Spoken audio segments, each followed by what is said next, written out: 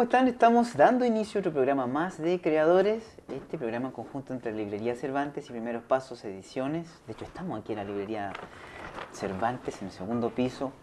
¿Y qué hacemos con el fin de difundir principalmente lo que es el arte local?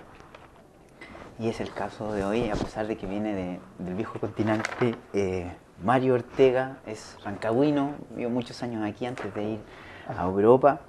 Bueno, nació en Subel en 1975, ya ha publicado ya tres libros de poesía.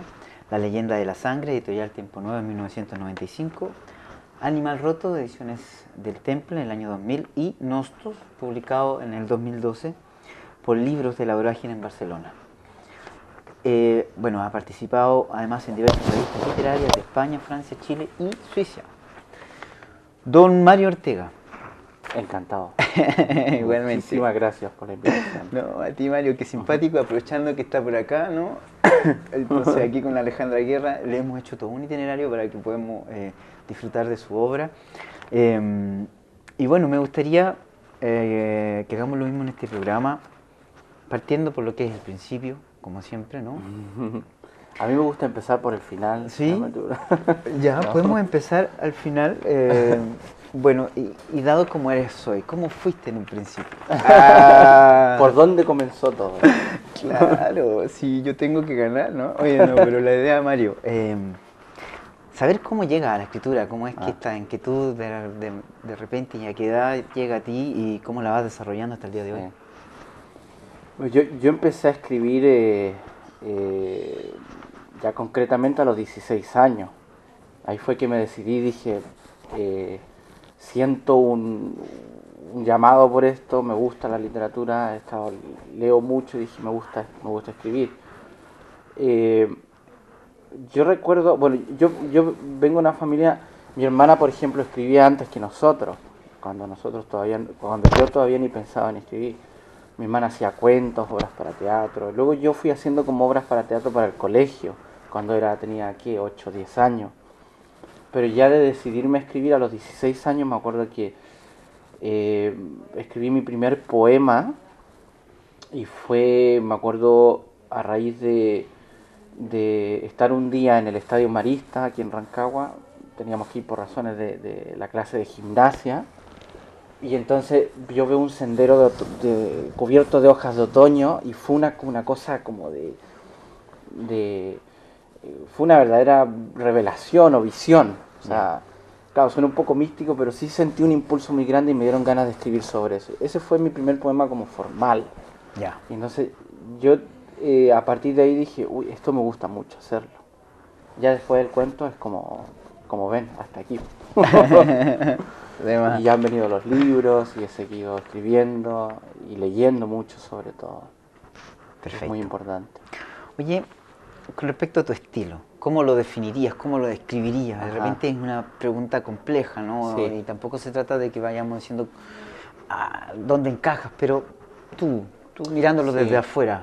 Bueno, yo, eh, la verdad que yo em, viendo, uno piensa que uno tiene un estilo definido cuando, cuando comienza a escribir y luego cuando uno todavía es joven, pero luego cuando vas madurando y vas teniendo más lectura te das cuenta que lo del estilo es también como un work in progress, o sea, es algo que evoluciona.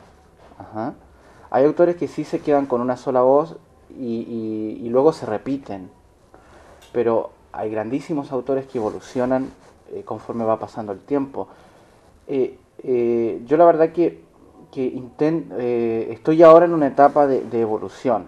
Mi primera etapa fue, yo diría que más bien tanto nerudiana, porque era muy joven, el primer libro lo publicó cuando solo tenía 20 años y ese libro se, se- ese libro se escribió cuando yo tenía entre 17 y 18 años, o sea, era muy niño.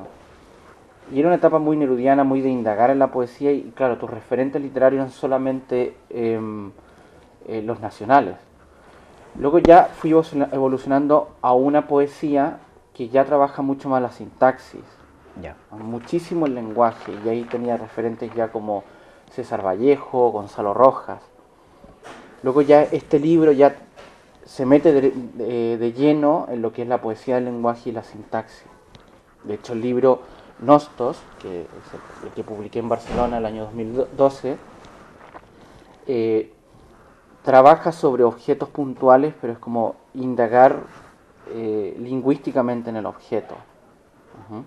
Y ahí los modelos ya son, bueno, ya estoy hablando de, por ejemplo, Samuel Beckett, mm, Francis Pong eh, y ya otros otros autores. ¿Y cuál es la parte tuya ahí?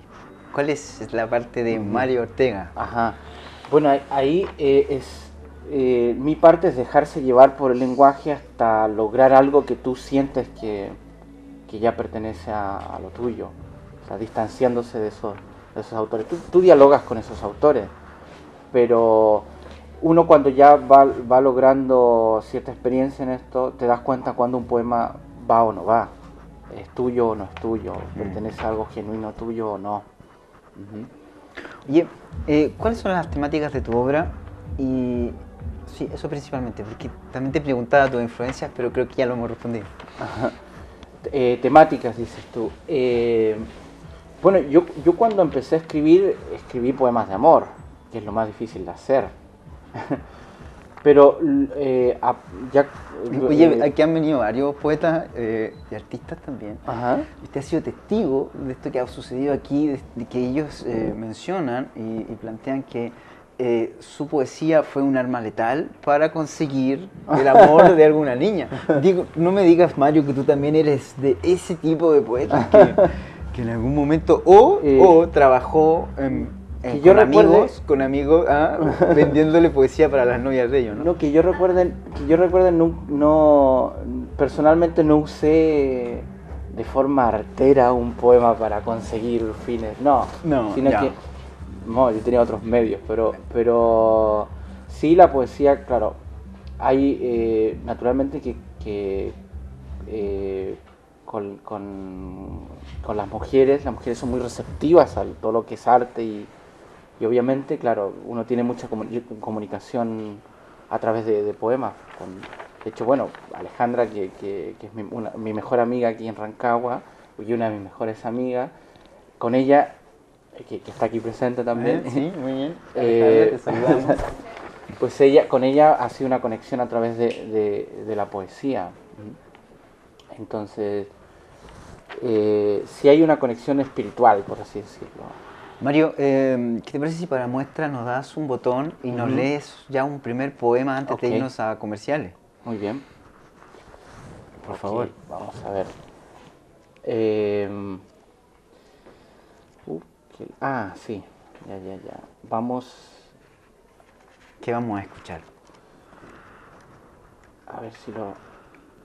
Bueno, este es del libro Nostos, eh, que va a estar presentando aquí en Rancagua también y, eh, y que publicó en el año 2012, ¿no? Es su última publicación y que además, contabas tú, te demoraste cerca de 10 años en hacerlo. 10 años en... Vamos a hablar de, de, lleno en, de eso aquí, pero yo estoy tratando de rellenar, verá usted, para mientras... Sí, lo que pasa es que el libro que tengo aquí es, eh, es una prueba de imprenta del libro final y no, tiene, no lleva índice, entonces estoy buscando... Pero no te preocupes, podemos así estar todo el programa. Ah, lo encontramos. Muy bien, ya. Muy bien. Pues um, este es uno de los poemas que, que yo te hablaba sobre objetos. Eh, em, y la idea es como meterse dentro del objeto hasta lograr una, una sintaxis. Eh, y bueno, es un poema sobre una moneda. Y yo siempre digo, imagínense la moneda, yo les pongo la música de fondo. Perfecto. Cae de canto aviesa, goza, en revesar chance con chanza por lo vivaracha mientras carambolea. Pingües, no estamos ni para penique, rocambolesco, pende, chitón, por ende juegas la vida a cara o te crucifica y desprecia el precio. Funambulista finta y porfía, de bailoteo y cabriola que cicatera les ganga el aire, expectación, cruel incerteza, cruel triplicación de zozobras, piensas, rumias, ¿cómo le haremos si ya ni al céntimo? Cuentos de cuentas si fuere fábula, mientras aún flirtea cara o cruz. ¿Y de chiripa cuánto? ¿Cuándo? Eso. Muy bien. Tú me preguntabas de, de, de, temáticas. Eh, bueno, yo a partir del segundo libro que se llama Animal Roto, empecé ya a trabajar el tema de la, la sintaxis y una poesía más, digamos, volcada al mundo material, a, a las cosas concretas. Perfecto. Tuve mucha influencia de, de, haber estudiado física un tiempo también. Luego este libro continúa esa línea, pero ya la profundiza. Ahora yo fíjate que estoy en una, en una temática más política. Ya. Sí se podría decir. Perfecto. Em, y más volcada también a la ficción, pero a la ficción en poesía. Ya. Mario, nos toca irnos a comerciales. Perfecto. Ya me avisaron que era el momento, así que eh, nos vamos a comerciales, seguimos hablando de eso, de tus libros y, y todo lo más detallado. Encantado. Nos vamos a comerciales entonces, seguimos aquí en Creadores.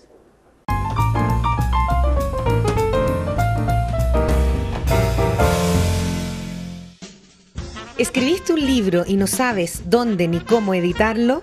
Primeros Pasos Ediciones lleva 10 años editando libros y revistas de autores de la región y del resto del país. Excelente calidad de impresión, diversos formatos, asesoría y difusión. Más de 100 títulos publicados avalan nuestro trabajo y un sinnúmero de iniciativas destinadas a difundir y valorar el arte local. Primeros Pasos Ediciones. Encuéntranos en primerospasosediciones.gmail.com o llamando al 8781-2952. Big Tintas nace por la necesidad de cuidar nuestro medio ambiente, recolectando cartridge y toners vacíos para su posterior reutilización. En Big Tintas encontrarás tintas, toners, cintas para impresoras y fotocopiadoras, recargas, productos originales y alternativos. En todas las marcas, Epson, Canon, Lexmark, HP, Xerox, Brother, Oki, Samsung y por supuesto a los mejores precios. Encuéntranos en Rancagua, en Astorga 409, local B, y en Viña del Mar, en Viana 637 local 145, Paseo Caucillo.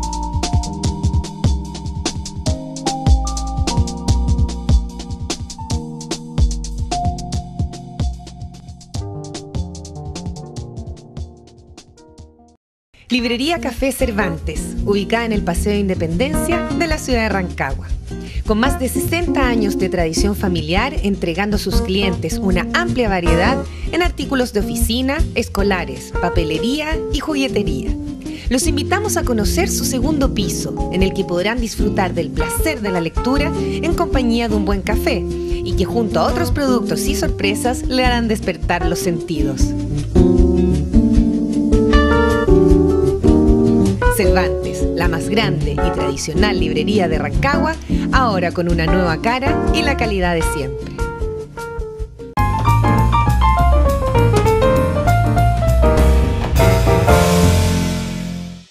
Ya, estamos de vuelta aquí en Creadores, estamos con Mario Ortega, poeta, Rancagua, dedicado su tiempo ya en España. Y bueno, eh, había dejado invitado yo a hablar de lo que son tus libros, ya has hablado un poquito, pero a lo mejor podemos eh, plantear algunas cositas más importantes que tengan que ver con la publicación de estos tres libros que has editado. Sí, eh, bueno, el primer libro que se titula La leyenda de la sangre lo publiqué el año 95. Ese libro eh, se publicó a raíz de un premio que yo obtuve en la, en la Municipalidad de Santiago.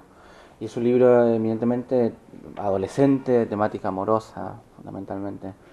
Luego publiqué el segundo el año 2000, Animal Roto, en ediciones del Temple que ha sido un muy buen proyecto editorial que se hizo en Santiago. Ese libro ya está más influenciado por cosas como la ciencia, eh, la poesía de Gonzalo Rojas o, de Vallejo. Eh, es un libro, digamos, yo diría, de transición para lo que viene, que es este, que es el tercer libro, que lo publiqué en Barcelona el año 2012. Es el gran proyecto que, que yo he tenido hasta el momento, lo he trabajado durante 10 años y eh, yo creo que este, este fue, este es el libro ya donde yo creo que estoy más conforme hasta el momento con lo que yo he hecho en términos de escritura. Ya. Es un libro que indaga en los objetos y hace todo un recorrido también vital, eh, relacionando el mundo de, las cosas inanimadas con, tu propia experiencia vital. Y yo he dicho que eh, ya varias veces he mencionado que tú estás hace varios años en España viviendo. Sí. Un tiempo, dos años en, en Barcelona. Y ahora eh, ya vas más hacia la frontera con Francia, ¿no? que es la idea terminar en Francia. Pero, ¿cómo es el movimiento literario actual en España? ¿Y cómo lo ves en relación a Chile? Claro. Eh, bueno, en España eh, eh, hasta hace poco, yo creo que todavía hay fundamentalmente, han habido dos tendencias que, que a mí me parece un poco lo que ellos hacen, esa separación un poco es bastante simplista, un poco hasta pueril. A ellos hablan de la, de la poesía de la experiencia y la poesía experimental. Ellos definen mucho esa, esa, esa línea entre una, una poesía que ya se arriesga más con el lenguaje o una poesía que está más ligada a, a, lo que es la tradición española. Es fundamentalmente eso. Eh, yo creo que sí el autor que ha marcado toda la poesía hasta hoy de España es Luis Cernuda, por ejemplo. Ahora, el movimiento literario ya, como en, yo creo que como en todo el mundo, como aquí, como en, gira en torno a lo que son los premios literarios y las fecas. Eso es lo que está ocurriendo concretamente allá. Hay mucha publicación, pero se ve un panorama bastante desordenado. De pronto uno ya sí ve grandes autores. Eh, por ejemplo, a mí me tocó leer a uno hace muy poco que lo encuentro genial, Manuel Vilas, les recomiendo absolutamente su lectura. Tiene un libro que se llama Gran Vilas y es un libro, digamos, la temática whitmaniana de hablar sobre sí mismo, pero él lo hace con un humor y un desparpajo increíble. Súper. Ya. Eh, lo vamos a anotar para, para echarle un vistazo. Oye, los hitos más importantes que has tenido como escritor. Sí. Eh, bueno, yo. Eh, bueno, para mí fundamentalmente publicar. O sea, cada libro que yo logro publicar es, es un... Y principalmente lograr, lograr terminar un proyecto escrito. Cuando ya ves que el libro está, pues es, ya te sientes, eh, tienes una sensación muy especial y ya cuando se publica, eso fundamentalmente. Luego cuando estuve en la Fundación Eruda también, que me becaron en el año 97 ahí. Mm, algún premio literario por aquí, en Madrid también, cosas así. Ahora, lo que sí me ha marcado como, lo, yo diría que lo que más me ha marcado como, como escritor es haber pasado una temporada, unos, fueron cuatro años en la costa del Mediterráneo catalán, muy cerca de la frontera con Francia, eh, dedicado fundamentalmente a leer y escribir. Y ahí fue donde yo pude terminar bien este libro. Y eso fue una inmersión total en, en el lenguaje, en la literatura, en las y, lecturas. Dijiste en la costa, mm. o sea, ahí con el mar claro, como, yo. como fuente de, mm, quizás no de inspiración, pero hasta, hasta, de fotosíntesis, ¿no? Sí, yo me levantaba y tenía el mar enfrente. Uy, qué era, era, fue una experiencia muy, muy importante, muy intensa. Ya. Eh, Oye, me respondiste la, la pregunta anterior ya con lo que hablabas con, con España, ¿no? Pero Chile Ajá. no me lo mencionaste. Ah. No te va a escapar, eh, Mario. ¿Qué, ¿Qué opinas de la del movimiento literario actual en Chile? ¿Qué has logrado un poco también Ajá. tú mantenerte al, al, día? Bueno, yo, eh, yo, yo, empecé a escribir y a publicar con lo que le llaman hoy la generación de los 90 aquí en, en Chile. Eh, hay poetas bastante importantes en, Chile. Eh, en estos momentos se está haciendo poesía de muy alto nivel.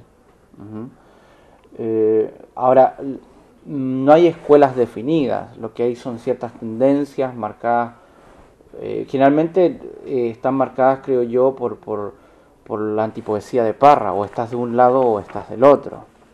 Yo personalmente escapo a eso, trato de, de hacer algo más, eh, una mezcla de, de diferentes estilos. Ya. Eh, pero sí se está haciendo poesía de muy alto nivel en Chile y, y, ahora veo también que la narrativa está cobrando un vuelo muy importante. Perfecto. Aquí. Mario, nos toca irnos a nuestra segunda pausa comercial. Perfecto. Pero todavía queda más, así que vamos a comerciales. Seguimos aquí en Creadores.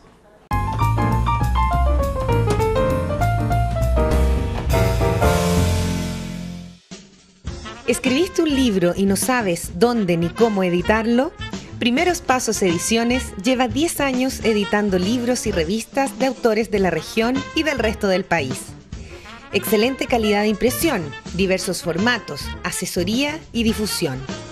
Más de 100 títulos publicados avalan nuestro trabajo y un sinnúmero de iniciativas destinadas a difundir y valorar el arte local. Primeros Pasos Ediciones. Encuéntranos en primerospasosediciones.com o llamando al 8781-2952. Librería Café Cervantes, ubicada en el Paseo de Independencia de la ciudad de Rancagua. Con más de 60 años de tradición familiar, entregando a sus clientes una amplia variedad en artículos de oficina, escolares, papelería y juguetería. Los invitamos a conocer su segundo piso, en el que podrán disfrutar del placer de la lectura en compañía de un buen café y que junto a otros productos y sorpresas le harán despertar los sentidos. Cervantes, la más grande y tradicional librería de Rancagua, ahora con una nueva cara y la calidad de siempre. Vic Tintas nace por la necesidad de cuidar nuestro medio ambiente, recolectando cartridge y toners vacíos para su posterior reutilización. En Vic Tintas encontrarás tintas, toners, cintas para impresoras y fotocopiadoras, recargas, productos originales y alternativos, en todas las marcas, Epson, Canon, Lexmark, HP, Xerox, Brother, Oki, Samsung y por supuesto a los mejores precios. Encuéntranos en Rancagua, en Astorga 409, local B, y en Viña del Mar, en Viana 637, local 145, Paseo Cauciño.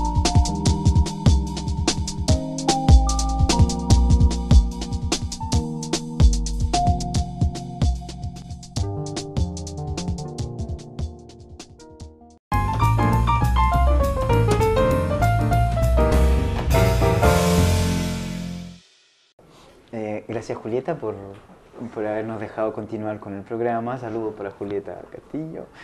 Y continuamos en el programa porque, Mario, mira, tenemos, eh, tenemos una lectura más que dijiste que tenía que ver con el aquí y el ahora. Y yo quiero preguntarte sobre eso también. Es que estás ahora qué- y qué se viene luego, cuáles son los proyectos y hacia dónde vas. Bueno, lo que te comentaba antes, yo estoy en una poesía ahora más política, si se puede llamar así, pero desde la siguiente perspectiva. Yo creo que una de las cosas que es importantes eh, es el, eh, hoy en día todo gira en torno al tema económico. De hecho, hemos vivido un colapso financiero el año 2008 que cambió el mundo. No sé si en Chile nos hemos dado cuenta de eso, pero ya en otros países como España o en Estados Unidos la cosa cambió totalmente. Estoy escribiendo sobre eso poesía. Yo sostengo hoy en día que hablar sobre economía hoy en día es hablar sobre política. Entonces estoy haciendo poemas, es muy difícil, pero estoy tratando de lograr algunos poemas que hablen sobre ese mundo un tanto como de ficción que estamos viviendo. El título del libro tentativo es Oráculo de la pantalla. Y además estoy en un proyecto, también te comentaba, de convertir poesía en ficción. Estoy tratando como de armar una novela en verso, pero que no parezca novela. Mm, Estoy tratando de hacer un juego como de ilusionismo, algo que es y no es a la vez. En esos dos proyectos que estoy trabajando, el segundo, este que último que te cuento, en principio se titula Biografía del personaje que no fue. Ya. Y sí estoy muy, muy, con este último estoy muy, muy ilusionado, muy entusiasmado. Mario, si alguien quisiera conocer más de tu trabajo, más de tu obra, ¿cómo puede hacerlo? ¿Dónde te puede contactar? Aquí está tu cámara. Sí, bueno, hay una página web del libro eh, que es www.nostos.org.es. Ahí pueden encontrar un, poemas de- del libro Nostos y algunos otros escritos también sobre, sobre mi obra, cosas inéditas también ya. y algún otro material. Mario, ¿cuánto ratito llevas de vuelta aquí en, en Chile? En Chile llevo ya dos, dos meses, Te vas luego, sí. eh, parto el 22 de junio. Ya, oye. eh, ¿Y qué tal? ¿Qué tal volver a ver a la familia, a los amigos después de tanto tiempo? Pues yo, yo veo a la gente igual en general. Bueno, mi mamá está un poco más, más viejita, pero, Pero eso no, no se lo vamos a decir acá. Es Pero- una forma de decir que tiene más experiencia, que se ve más sabio. Pero en general la gente la veo igual. Lo, lo bueno es que cuando, cuando me han visto me han dicho es como si siempre hubieras estado. Como que si nunca te hubieras ido. Y eso es buen Ah, signo. Es decir, eh, quiere decir que hay una comunicación fluida. Y que no no se se ha cortado el- el, Fantástico. el vínculo. Me alegro. Mario, un último poemita para, Perfecto. para despedir el programa. Muy bien. Ahora Bueno, ya lo hice buscar la página antes, así que no se preocupen, no va a haber que rellenar. Bueno, este poema se llama Reflexiones de un experto en cosmografía doméstica. Fue escrito en Calacanielles, eh, en la playa, en, en marzo 21 del 2008. Todo es un desajuste. A cada paso un desajuste. Ni un solo gesto coincide con cada gesto, cada instante, mucho menos con cada ángulo de la habitación. La situación del cuerpo es del todo desacorde, inadecuada, inconforme a cada mueble, cada pared.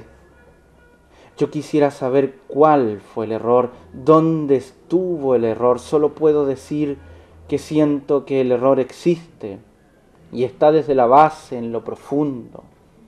Y asumo, soy consciente, me percato, la exacta posición del cuerpo en el momento justo es un poema, al menos ese, aunque no digas ni una sola palabra, doy mi cabeza por uno al menos, uno siquiera, estar aquí, estar completamente aquí, saber estar. El más emocionante y largo viaje es estar aquí. Eso. Fantástico. Eh, hay aplausos, sí, hay aplausos. Muy bien. Oye, Mario, aprovechar de aplaudir tu venida acá. Muchísimas eh, gracias. Lo disfrutamos, te conocimos más. Y bueno, ojalá la gente también, esto tú hablabas de los nexos, eh, pueda meterse en tu obra y conocer más de tu trabajo. Y ojalá te podamos tener pronto de nuevo por acá. Perfecto, yo agradezco mucho tu invitación, te felicito por la labor que estás realizando, me parece increíble y encantado de estar aquí y bueno, habrá una segunda, una tercera y una cuarta y una enésima oportunidad sin, Súper bien. sin así ningún problema. Ya pues, y así mismo con usted que va a tener muchas oportunidades más de seguir disfrutando del arte local, que hay muchos exponentes, mucha gente haciendo arte hoy en día, arte y cultura, y de manera muy, muy linda, muy bella, muy profesional. Así que nos vemos, como siempre, el próximo lunes a las 20.30 horas su programa Creadores. Chao, que estén muy bien.